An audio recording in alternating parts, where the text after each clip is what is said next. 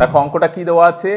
One by a plus b plus x equals to দেখো, এ পাশের যা ডিনোমিনেটারে ছিল, হরে ছিল, তাই আবার পার্ট পার্ট হয়ে গেছে। One by a plus one by b plus one by x ঠিক আছে?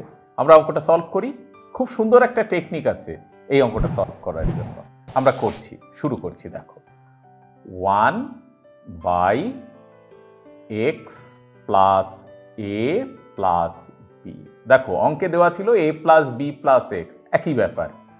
Equals to one by a plus one by b plus one by x দেখো, অঙ্কটা শুরু করছি। তাহলে আমাদের নিয়ম হচ্ছে বা নিয়ম না ট্রিক্সটা মনে রাখবে one by a plus b plus x minus one by x equals to one by a plus one by কি হলো? আমি আগেও অনেক ক্লাসে বলে দিয়েছিলাম, মনে রাখবে। কারণ এদের মধ্যে থেকে আমরা সরাসরি এদের যে কোনো পথকেই এ পাশে আনতে পারতাম, কিন্তু এক্সকে আনলে ক্যালকুলেশনটা অনেক সহজ হবে। তোমরা খুব সহজেই ক্যালকুলেশন করতে পারবে। আবার সমান চিহ্নের এদিকে রেখে যদি সবগুলো পদকে লসাগু করো, তাহলেও কঠিন হয়ে যাবে। তাই এটা মনে রাখবে। কি মনে রাখবে? যেটা চলপদ তাকে সমান চিহ্নের অন্যদিকে নিয়ে যাবে। এবার আমরা লসাগু করি। দেখো কি আসে?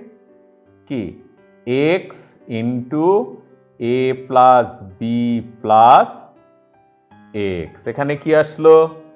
X minus a plus b plus x equals to এদিকেও লসাগু করি এ বি কি হলো? বি প্লাস এ বা এরপর কি?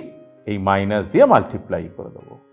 X minus a minus b minus x by কি আসলো?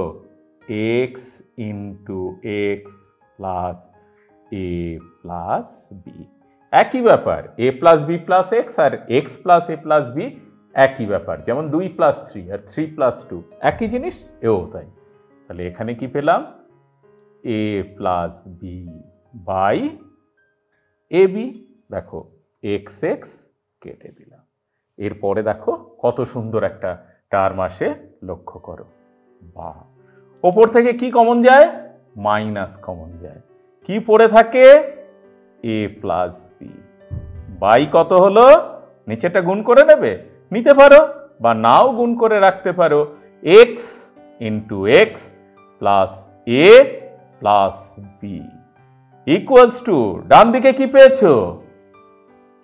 A plus b by a b দেখো সমান চিহ্নের দুদিকে যদি একই ধরনের পথ থাকে এবং সেই পথটা যদি অশূন্য হয়, শূন্য না হয়, তাহলে তারা পরস্পর কাটাকাটি হয়ে যায় পাশে কারণটা কি অবশ্যই লিখবে a plus b not equals to zero এরপর কি হলো?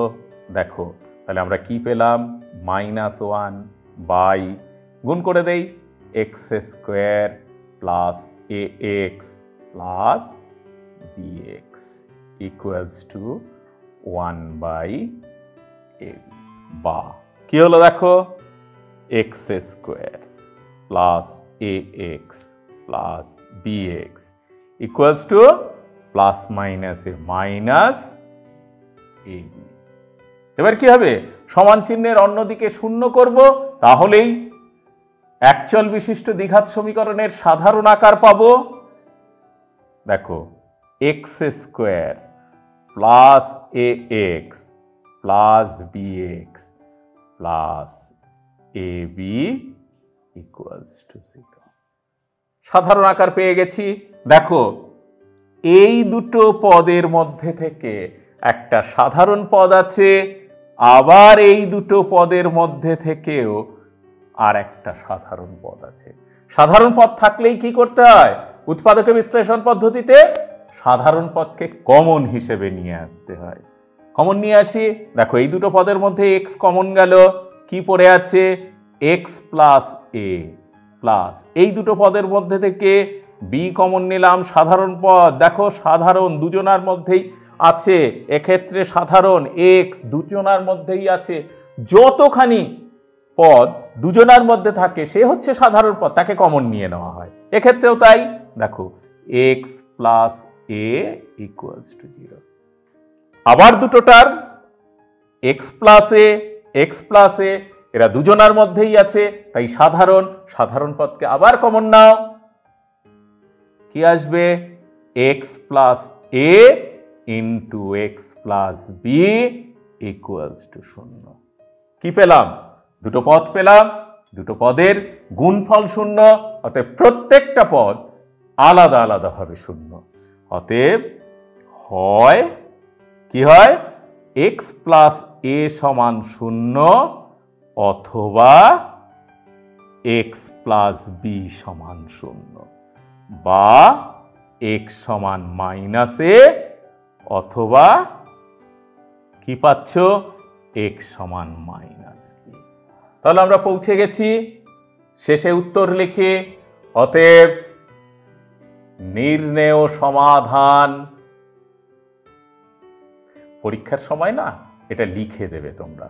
নির্ণেয় সমাধান x equals to minus a এবং এক্স ইকুয়ালস টু মাইনাস